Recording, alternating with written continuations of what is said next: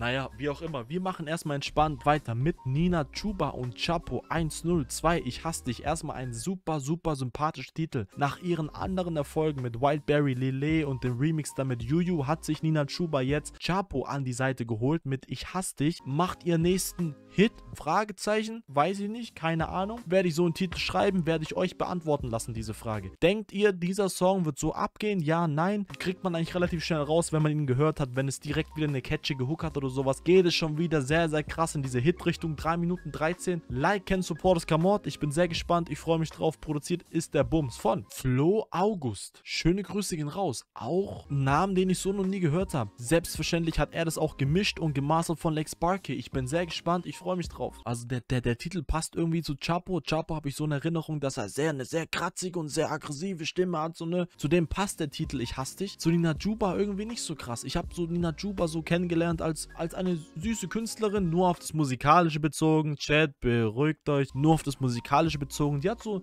einen süßen Sound einfach, ne? Mit ein paar catchigen Hooks, dies, das. Da passt der Titel Ich hasse dich jetzt nicht so krass rein, ohne Scheiß. Also 3.13 Abfahrt. Jede Nummer von Topmodel-Typen in deinem Handy. Hast noch nie einen Korb bekommen, außerdem mit Präsenten. Wird mich nicht mal wundern, wenn du plötzlich Präsident bist, weil jeder trägt dich Huren so bedingungslos auf Händen. Oha, ich habe dieses Haarwort aus ihrem Mund noch nie gehört. Ich habe gedacht, es wird jetzt. Es, ich habe so gedacht, okay, die machen so umgekehrte Psychologie mit uns, Chat. Der Song heißt Ich hasse dich. Man geht von einem irgendwie bisschen düsteren, bisschen dreckigeren Soundbild aus, ne? Aber wir kriegen was sehr Süßes um die Ohren geschallert, ne? Aber es geht direkt ab erster Sekunde, ab der ersten Sekunde los und sie haut ordentlich raus, Digga. Okay. Wenn du plötzlich Präsident bist, weil jeder trägt dich Huren so bedingungslos auf Händen. Und du weißt, wie das geht mit diesen Steuern Finanzen. Hast von jedem gut laufenden Unternehmen Aktien. Kriegst alles Guck mal, auch hier wieder. Steuern und Finanzen. Guck mal, dieses Finanzen. und Finanzen. Hast Finanzen. Diese Betonung ist auch super nice. Auch hier wieder die zweite Betonung. von jedem gut laufenden Unternehmen Aktien. Von jedem gut laufenden Unternehmen Aktien. Finanzen. Wie soll ich meinen? alles geschenkt, kriegst alles hin. Bis Weihnachten Ey Mann, warum macht sie so ein Gesicht, Chat? Warum macht sie so ein Gesicht? zerrissen, weil deine Eltern noch zusammen sind. Gestriegelt und faltenlos gewonnen der G-Lotterie. Und ich hab das falsche Los, die Immaniten, c'est la vie. Sag mir, womit hast du das verdient?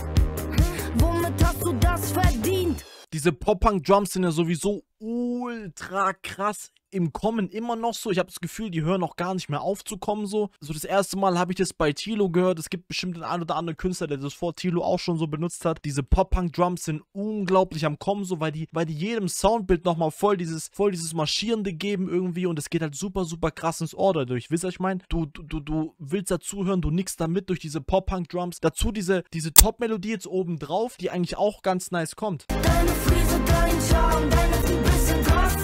Auch diese beiden Stimmen jetzt hier, also Chapos Stimme wirklich nur relativ, also relativ subtil im Hintergrund, unterstützt quasi nur dieses ganze Soundbild so ein bisschen, dass die Hook ein bisschen voluminöser kommt. Ähm, Nina Chuba, ihre Stimme noch super, super breit, links, rechts, ein paar Mal aufgenommen, schön hart links, schön hart rechts gepannt so, also super, super, super, super vorne dran so. Chapo seine Stimme nur noch ein bisschen im Hintergrund als supportive quasi, dass es so, dass die Hook halt ein bisschen fülliger noch kommt, dass man so ein bisschen schon diese Stimme von Chapo introduced bekommt. Eigentlich ganz cool, also der Part, im Part war ich so, hm, okay, schauen wir mal, aber Hook holt ab. Ich glaub, ich hasse dich. Äh, Ich will leicht ein bisschen drastisch. Ja, aber, aber ich hasse dich. Und Chapo macht sauber. Anständiger junger Mann. Wusste ich von Anfang an ohne Scheiß. Der Junge ist einfach anständig. Der weiß, der hat Manieren. Der weiß, wie man sich benimmt. Sieht man ja auch direkt. Super sympathischer Mann. Schwanz und Kaviar verschwinden im Kolgate lächeln 75 Stunden Job und nebenbei noch Wale retten Ah. Im Kolgate lächeln. Hummer, ba, ba, ba, ne? Verschwinden im Kolgate lächeln. Nebenbei paar Wale retten oder sowas. Verschwinden im Kolgate lächeln Ein cooler Reim. Super nicer Reim irgendwie. Auf Kolgate lächeln. 75 Stunden Job und nebenbei noch Wale retten. Würd dir gern die Nase brechen, auch wenn's sich nicht lohnt. Denn dein Daddy ist dein Anwalt und dein Onkel ist Chirurg. Hast Ähm, ja, ich habe jetzt nicht so Interesse, mir die Nase demolieren zu lassen, so. Ich habe von Anfang an gesagt, der Mann ist einfach sympathisch, aber das mit dem Nasenbrechen, da hinter der Aussage stehe ich nicht, ohne Scheiß. ein Bentley, hast ein Boot, hast einen eigenen Pilot. Und egal wo du auch sitzt, fällt dir alles in den Schoß. Ne Fresse für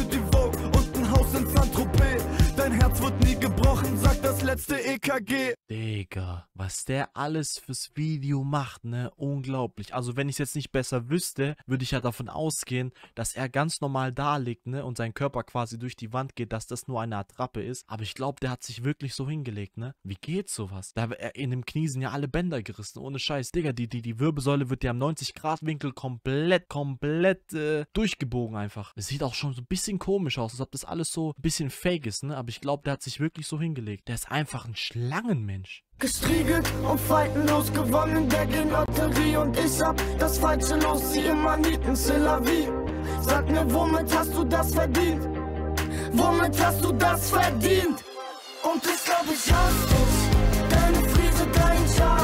doch, Digga, Hook, könnt mir sagen, was ihr wollt. Hook klatscht ordentlich. Und ich habe noch nie eine Nina Chuba Nummer gehört, die in der Hook irgendwie nicht klatscht. Jedes Mal diese verdammte Hook geht so krass ins Ohr, ne? Unglaublich krass. Es ist schon so ein Teil eines Nina Chuba Songs. Ohne eine catchige Hook, ohne eine Hook, die dich wirklich mitreißt, so, wird, äh, wird dieser Song nicht released. Habe ich so das Gefühl, ohne Scheiß. Und ich glaube, ich Guck mal, ich glaube, ich hasse dich. Ist alles plastisch. So, ne, das sind nicht diese außer, außerordentlich guten Reime, so wie ich meine. Braucht man heutzutage aber schon lange nicht mehr. Ich glaube, das ist kein Geheimnis, dass in den Top 10, Top, Top 10 Charts oder in den ersten 10 Plätzen in jeder Playlist, Deutsche brandneu oder Modus Mio Playlist, Songs rumliegen, die halt wirklich von den Reimen her nicht minimalistischer sein könnten. Reime werden heutzutage einfach, ich weiß nicht, ich glaube, da, da hören gar nicht mehr so krass viele Leute drauf auf Reime so. Plastisch, auf hastig, wie soll ich meinen, so denken denken so, okay, ja, reimt sich halt, ne? Wir hören jetzt einfach weiter. Der, der normale Spotify-Hörer denkt sich jetzt nicht, boah, Digga, war das ein Scheißreim, war das ein guter Reim? Hauptsache, das catcht, Hauptsache, das gibt gute Vibes irgendwie. Das ist die Hauptsache, ohne Scheiß. Ja, ich glaub, ich hasse dich.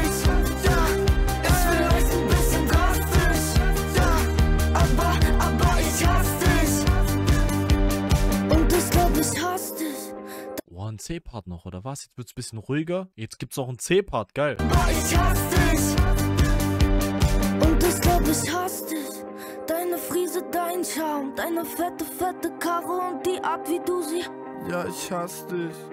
Diese Szene ist brutal, ohne Scheiß. Der muss mir echt mal schreiben, wie er das hinkriegt. Also ich versuche mich ja auch an Yoga ranzutasten, ne? Aber wie die Figur heißt, weiß ich bis heute nicht. Holy shit. Wieso kommst du so gut an bei den Mädels an der Bar? Merkt denn niemand, was du sagst, ist alles Plastik.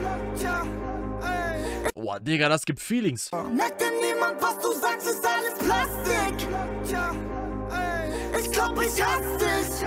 Auch dieses Riff, wieder, was da gespielt wird, ganz, ganz subtil im Hintergrund, dieses Gitarrenriff, ne? Brutal. Tja, Ist vielleicht ein bisschen drastisch. tja. Aber, aber ich hasse dich. Und ich glaub, ich hasse dich. Auch hier so ein Drumroll für die neue 1 quasi, für die neue Zählzeit, so ein, kleiner so ein kleines Drumroll-Ding, was halt den Drop nochmal ein bisschen fördert, dass man jetzt weiß, okay, jetzt kommt gleich der Drop. Super nice irgendwie aufgebaut. Kurzer C-Part, als quasi als kleine Bridge, das alles runterfährt so ein bisschen, um dann eben nochmal übel laut in die Hook gehen, äh, Hook gehen zu können. Aber ich hasse dich. Und ich glaub, ich hasse dich. Ja. Ich glaube, ich hasse dich, dass das Chapo das so ein bisschen reinschreit, seine Stimme aber relativ subtil im Hintergrund leise mitspielt, so, ne? Diese Nina Chuba-Stimme ist noch wirklich sehr, sehr breit in der Hook vorhanden, so. Beide schreien so ein bisschen, ich glaube, ich hasse dich oder so. Ich hasse dich. Wisst ihr, ich meine, alles Plastik, ist krass. Ich glaub, ich hasse dich.